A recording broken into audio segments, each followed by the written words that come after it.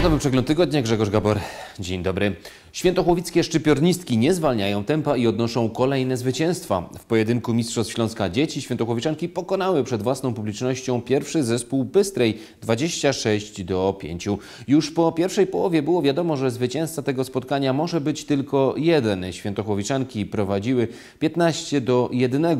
Druga połowa tylko potwierdziła tą dominację. Kolejny raz w tym sezonie najskuteczniejszą w szeregach Świętochłowiczanek była Julia Grzesista, która tym razem wystrzelała 8 bramek. Niezwykle ciekawy i emocjonujący charakter miał pojedynek juniorek młodszych w ramach kolejnej odsłony Mistrzostw Śląska, w której Świętochłowiczanki zmierzyły się z Akademią Handbalu Ruch. Po pierwszej połowie podopieczne trenera Andrzeja Gajczewskiego przegrywały różnicą jednej bramki 14 do 15. W drugiej odsłonie prowadzenie zmieniało się jak w kalejdoskopie, ale wynik ciągle oscylował wokół remisu. W końcówce Świętochłowiczanki odskoczyły na dwa gole, jednak Chorzowianki zdołały doprowadzić do remisu i takim wynikiem zakończył się ten pojedynek. MUKS Skałka Śląsk, Akademia Handbalu Ruch Chorzów 28-28. W zespole ze Świętochłowic z klasą dla siebie była Oliwia Rąc, która w sumie zdobyła 13 bramek. Do kompletu zabrakło w mijającym tygodniu dobrego wyniku juniorek, które musiały uznać wyższość chorzowskiego ruchu i przegrały 22-29. Najwięcej bramek dla Świętochłowiczanek zdobyła w tym spotkaniu Katarzyna Wieszała, która do siatki rywalek trafiała pięciokrotnie. Śląsk Świętochłowice w tym sezonie gra ze zmiennym szczęściem. To już wiadomości z piłkarskich boisk. Potrafi wygrać ze znacznie wyżej notowanym przeciwnikiem, jak to było w pojedynku z ruchem Radzionków, by za chwilę przegrać ze znacznie niżej notowaną drużyną, jak to było w meczu 11 kolejki Heights czwartej ligi grupy pierwszej. Świętochłowiczanie w minionej kolejce pojechali do Zbrosławic, aby zmierzyć się z tamtejszą dramą.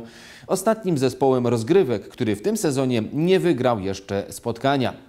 Niestety dla Śląska szybko okazało się, że rywale będą wymagającym przeciwnikiem, tym bardziej, że Świętochłowiczanie wystąpili bez swoich kilku podstawowych zawodników e, i to było widać. Już po kilkunastu minutach Śląsk przegrywał 0-2. Jedenastka ze skałki co prawda zabrała się do odrabiania strat, jednak gospodarze również zdobywali bramki, odnosząc w efekcie końcowym swoje pierwsze zwycięstwo w gronie czwartoligowców. Drama z Brosławice, Śląsk Świętochłowice 5-2. Honorowe trafienia dla Śląska zaliczyli Adrian Palka i Dawid Henisz.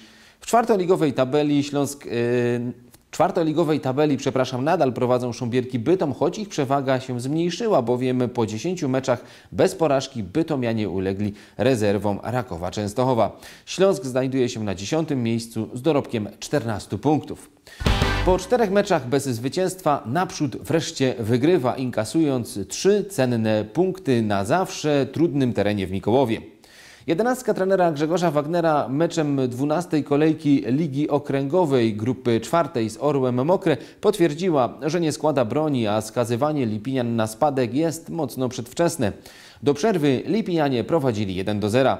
W drugiej połowie tylko potwierdzili swoją dominację, strzelając dwie kolejne bramki i wygrywając ostatecznie 3 do 0 po trafieniach Dawida Pawlaka, Wojciecha Kopycioka i Przemysława Maciejewskiego. Dzięki temu zwycięstwu naprzód awansował o szczebel wyżej w ligowej tabeli i w tej chwili, mając na swoim koncie 14 punktów, zajmuje 13 miejsce. Rezerwy na przodu Lipiny nie zwalniają tempa i odnoszą kolejne zwycięstwo. W siódmej kolejce klasy B Lipinianie nie pozostawili złudzeń. Podlesiance dwa Katowice pokonując rywali przed własną publicznością 3 do 1 po dwóch golach Luksa i jednym trafieniu Mejki. Po tym zwycięstwie zespół z Lipin zajmuje drugie miejsce i traci do lidera Pogoni 2 i Mielin już tylko jeden punkt. Pozostajemy jeszcze na piłkarskich boiskach. We wtorek 22 października dobiegła końca przygoda Śląska Świętochłowice z Pucharem Polski.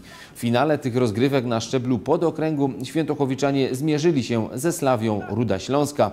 Drużyna, która gra podobnie jak Śląsk w czwartej lidze grupy pierwszej, niczym specjalnym nie e, zachwyciła, bowiem e, plasuje się e, za Śląskiem Świętochłowice, jednak w pucharowej potyczce Rudzianie mieli więcej do powiedzenia, choć Śląskowi momentami po prostu brakowało szczęścia. Na dodatek Świętochłowiczanie musieli kończyć mecz w dziesiątkę po tym, jak po godzinie gry czerwony kartonik ujrzał Krystian Ściętek.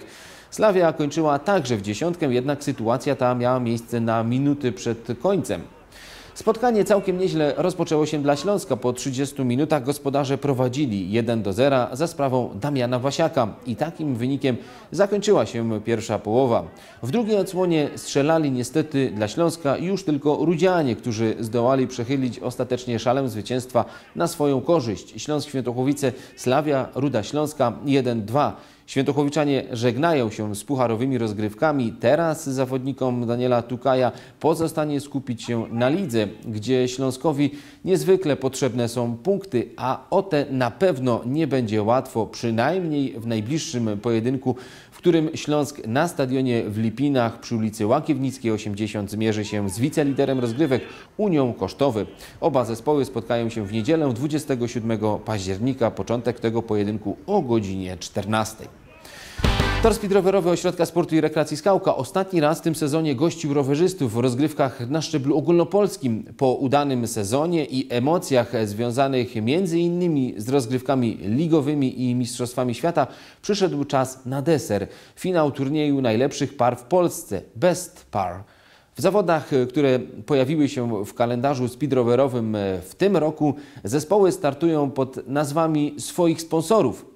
Świętochowicki duet w całym cyklu, na który składały się trzy turnieje, wspierała firma Euromet. Świętochowiczanie w składzie Dawid Bas, Dawid Zając i Kamil Bilica do samego końca walczyli o triumf w całym cyklu z zespołem Lwy Awia Częstochowa. Ostatecznie jednak minimalnie lepsi Częstochowianie, którzy wygrali w Świętochowicach, pieczętując swój sukces w klasyfikacji generalnej. Trzecie miejsce zdobył Deko Ostrów Wielkopolski. Jeśli komuś mało było ścigania w tym sezonie w Świętochowicach, to jeszcze może odwiedzić obiekt na skałce 26 i 27 października, kiedy to odbędzie się ostatni akcent, tym razem regionalnych rozgrywek, turniej Amigo Bike oraz Puchar Mikołowa. Tym zaproszeniem, tą informacją kończymy sportowy przegląd tygodnia. Dziękuję, do widzenia.